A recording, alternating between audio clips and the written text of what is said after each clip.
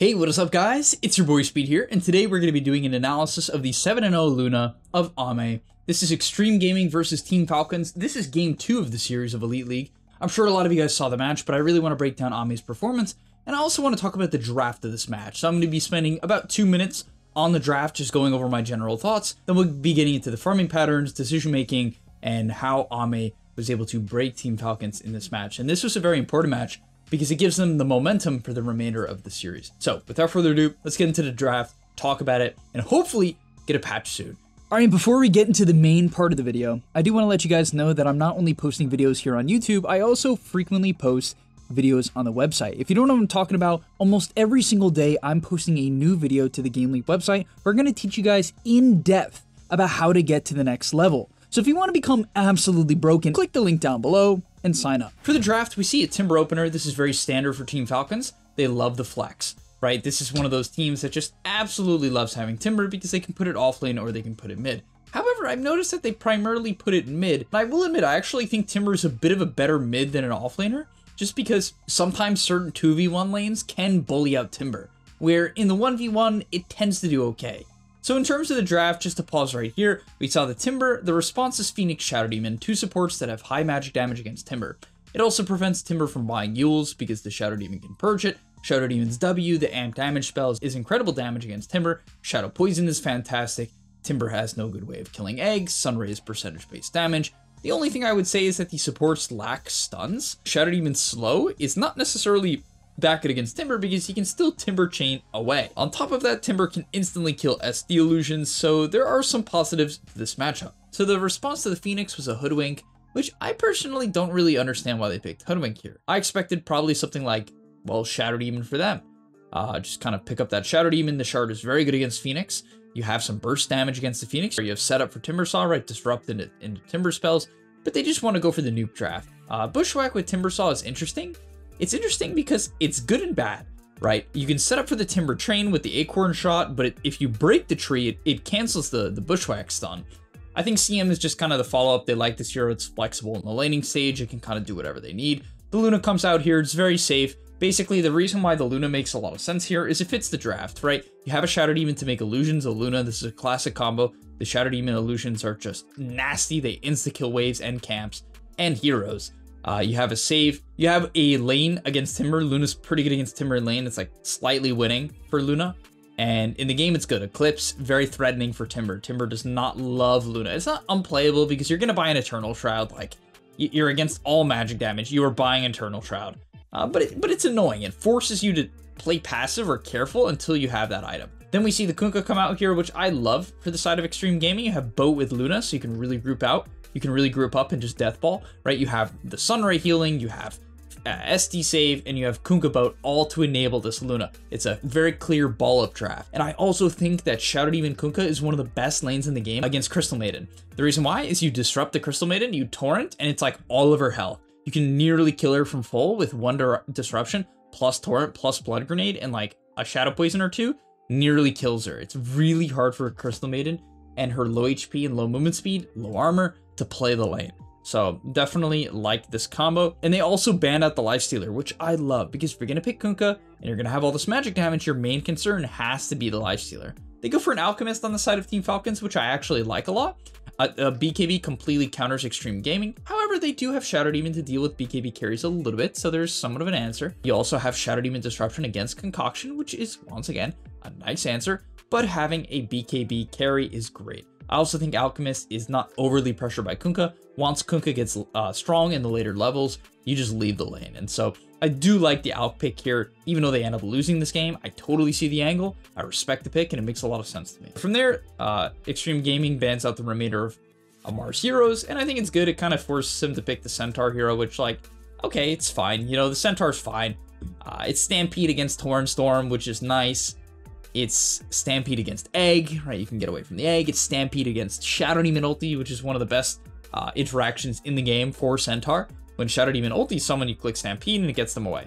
Uh, and then finally, we see a, Leshrac come out, which just completely committing to the ball, right? Extreme Gaming saying, we're not going to try to pick you off. We have no interest in trying to play at uh, three lanes, where Team Falcons, they're going to want to play three lanes. They're going to want to keep the map open. They're going to want to hit timings where Extreme Gaming is going to want to ball up, go together, take towers with Lesh W, take towers with Luna Glaives and Luna Blessing, and Kunkka Boat and such. So yeah, let's get into this game. Let's get into Ame's gameplay, and I'll see you guys there. So for this lane, you definitely have to be really, really, really careful. It's very easy for Luna to get basically half of her health taken from a single Centaur Stomp, because Acorn Shot does a ton of damage, or even Bushwhack. So definitely lane where she's going to be a little bit careful. The big thing as well, I'd, I'd say for Ame here, is paying attention to his uh, Phoenix's W cooldown. Phoenix will use the ability to harass, as we see here. However, once the W is on cooldown, there is a 30 second gap where Phoenix does not have his W. And Ame is going to have to pull aggro and play defensive in that time window. Uh, so he actually messes up there, missed the aggro twice. A little bit unfortunate. Okay, so from minute 7 on is what I really want to start watching. So the big thing here is that he's hit level 5, lane's going very, very even, right? You can see he's almost the same net worth as Ammar. Uh, and it's very important at this point that he doesn't get gone on outside of the tower, right? The reason why is Luna's main problem as a hero is she's not that tanky, right? You don't buy a ton of stat items, right? You kind of just want to get treads. Optimally, you just buy treads and then you buy Mask of Madness. You don't want to buy Wraith Band, the item is nerfed and you already have a ton of base armor. It feels pretty trash. And so what I like that he does is that even in a situation like this, you kind of just give up the wave and you just say, eh, you have Stampede. I kind of want to wait till at least I'm level 6. Maybe you skill Eclipse. Maybe. I mean, with level 1 Lucent Beam, it's pretty terrible. But it can be okay. And he's just playing defensive. Gets Seeds of Serenity. And it's interesting to me that he took it. It's a little odd because you already have Mask of Madness, right? So it's like you have this life steal. But if you're going to play the way he does, which is staying in the lane, right? You're going to notice uh, he gets a counter again shortly.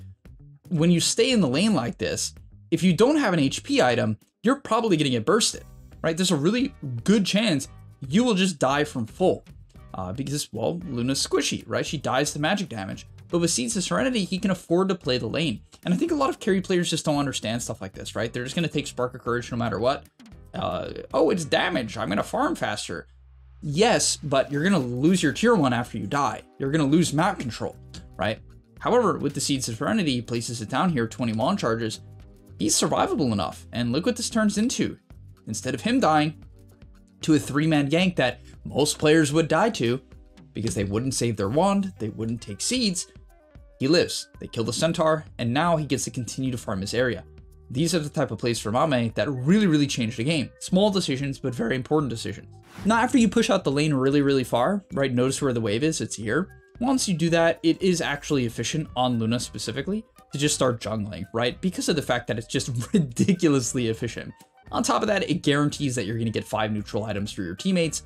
And I've been saying this a lot of my videos, but neutral items are key. They are super, super important. People don't put a priority on them. I value them at about seven to 800 gold. I think items like Seeds of Serenity, if the hero desperately needs regen, is more of a, a thousand gold item for what it gives. And I really mean that, guys. So keep it in mind, right? Over and over again, he's kind of just defending this tower, making sure that they can't take it. Car wave defended, and it prevents Team Falcons from opening up this top side of the map and making it unplayable for the Luna, which is something they certainly could do if they take down the tower. So now for a period of time, it actually seems like he's completely evading top. Um, reason why is eventually everyone has maxed out nukes, and especially the main threat, once the game gets to about minute 10, is that, especially minute 11, is that the supports will have ulties, right? Hoodwink, CM is going to have ulties. And Team Falcon's draft, like very, very frequently, not every game, but frequently, they have these burst damage drafts, right? They have Timber, Centaur, Hoodwink, CM. It's like, if you get caught, Seeds of Serenity isn't saving you. it's just, it's not enough. And so he's farming these back camps, and it's good to understand, like, hey, around this 11 minute mark, I can't, probably more like 11, uh, minute 10 with how efficient these players can be. You're just gonna have to get out of lane. And so yeah, he's been playing a very defensive style ever since he's felt that complete threat of double from the support. He's gonna head over to the Ancients now and evade this top side of the map, eventually conceding the tower. And that's what you should do, guys, right? Understand when the enemy team gets ulti and go from there. Also, something that Ame does that is very unique is that he does a different skill build than almost every other Luna. Most Lunas at this point have max glaive, one point in Lucent Beam, and their talent. They would also uh, likely not have a point in Eclipse. They would put the point in Eclipse in the Lucent Beam. So they'd be two, four, four with a point in the talent tree. But he, he doesn't do that at all. He actually goes more of a nuke build.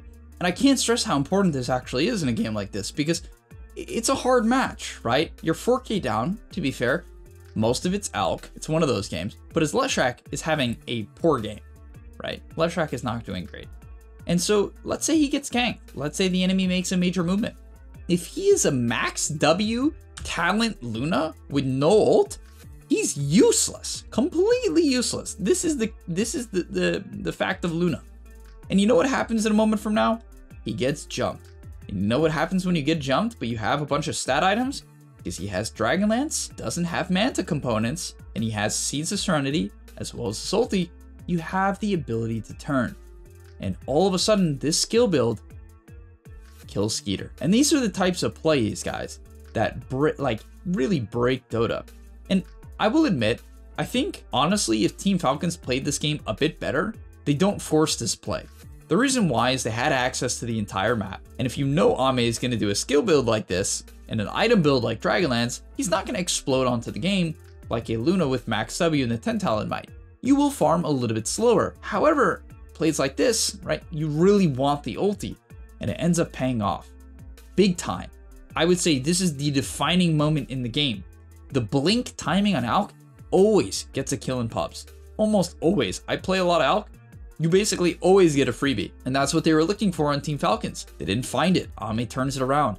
And so yeah, uh, like no other carry would have done that at this tournament. Literally none of them. Uh, and time and time again, the bonus HP of this this Falcon Blade is just kind of turning the tides, right? Malr1ne goes on him. He's just a little bit too tanky. It seems like they're almost thrown off by this Dragonlance and the Seeds of Serenity HP pool. Uh, and you could say, oh, that makes no sense, right? There, there's no way they're not good enough to, to realize that. But I mean, this is two mistakes in a row trying to kill a Luna that's just a bit too tanky. Now, for the next few minutes, he's working on getting to his BKB timing. The main plan for Extreme Gaming, seemingly, is to just kind of play around this Rosh timing on Luna's BKB, right? I think that's what they want to do. And it makes sense, right? When you have the Luna BKB, if you take Rosh, you're going to be able to complete your shard shortly after that. And then, you know, then you can start pushing tier twos. You can start really trying to close out the game with this Death Ball comp. Uh, and so he does actually TP top. The reason why, guys, just so you see a TP like this, is just because of the double wave. So in general, I don't recommend TPing for waves. Like, honestly, I don't even know how I feel about this TP. I think because he's so close to BKB and that is their team's timing, it makes sense. But a lot of the time, if your support's close to an item, you can just give them the XP if they're already here or the gold. But it definitely makes sense in a scenario like this, where you're close to a key timing, and it's a double wave, like some giga double wave. Plus, Shadow Demon is not close to anything. He truly does not need the items. Um, in a scenario like this, it's absolutely wonderful to do what Ame did uh, and TP for that. But then you're going to go back to your ancients just because it's generally safe, as long as your team is bottom. However, guys, something I want to say quickly. If your team isn't bottom, you don't have to farm Ancients on Luna. Obviously, it's the most efficient thing you can do, Ancients plus lane creeps, but you don't have to. The other side of the map is fine, you will still get farmed. A lot of, I, I have carries in my pubs that seem to think that you like have to play the triangle as a carry. You don't, right? Like, it's good. It's a good default. It's a good rule of thumb to like go to the triangle in the mid game, but you don't have to. If it's dangerous, just go to the other side of the map and farm. Uh, but okay, getting into the team fight, here we go. BKB online. They get the BKB out of Alk, which is obviously a good start to the fight. I will say, I think Torrent storming a BKB Alk is very cringe. But yeah, they go into the Hoodwink. I love what he's doing here, right? He's moving backwards, kind of targeting this Hoodwink, because the Hoodwink's out of position. She's far back. A lot of people always run forward. You actually want to, if you have the option to run back and kill people behind you, so that you keep your team together, you keep your team as a ball. Because when you do that, you allow your uh, team to stay together, and then if your team gets gone on, anyone gets gone on, you can help each other. It's exactly what happens. SD gets jumped, and they're able to turn it around. Bloodstone from the Lesh comes out. They aren't able to burst him, and the glue and the glaives go crazy. Luna, when she just gets untouched and people are are clumped up, it is a nasty Dota hero. So after he gets Rosh, I want to talk about what he does because it's very important. It's a good uh, it's just good to know what to do after you get Aegis so you can close out the game. So gets Aegis, drops this one, of course, buys the shard. Always buy your shard after BKB. You can even buy before BKB if they don't have as much magic damage. And then he TP's top. So a big part of this TP is that when the wave is pushing in like this, especially a double wave, there's guaranteed, in this case, a wave behind it, unless they side pulled, which didn't happen. And so you just get to farm so much by TPing like this. What are the downsides? Well, it's risky. You could die. However, the enemy team just died. You kind of know that they're not out on the map. You have this really good top ward. He sees the elk, sees the centaur, and his team is obviously coordinating around this, right? They are smoking across the map. In your pubs, if your team isn't going to flip the map, don't TP like this. You are griefing the map state. You are splitting up your five heroes. If you have a draft like Extreme Gaming, don't split the map.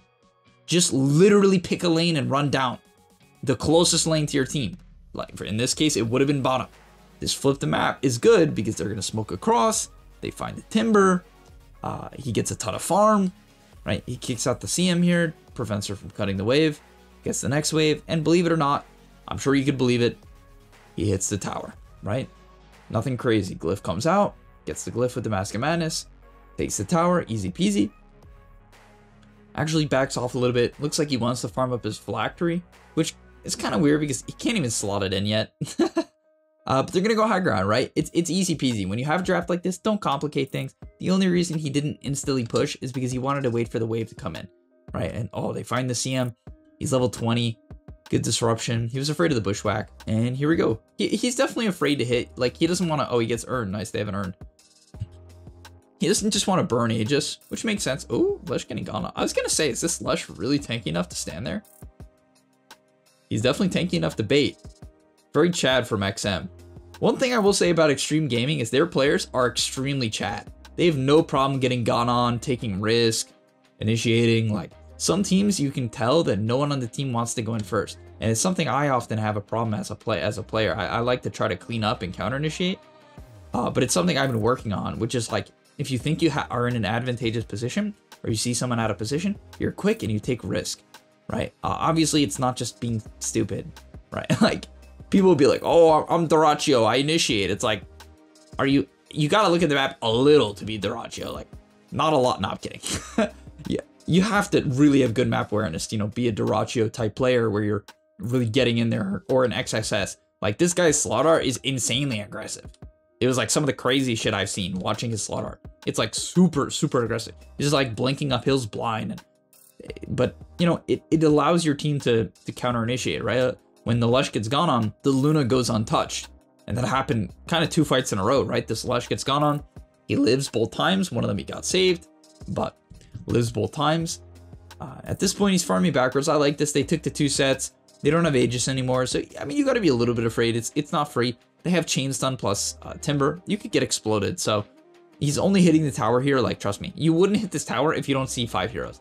You would wait to see the, to see someone. You'd wait and you'd smoke yourself. You'd wait and you'd hold a hill. Good players will never just hit a tower like that. I mean, he has Shadow Demon, so maybe you can take the risk. I think there's a, there's a chance because of that, because of the Shadow Demon. But until you see people, you can chill. Like even here, he's very hesitant to, to hit the tower. As oh, instantly Lesh gets jumped.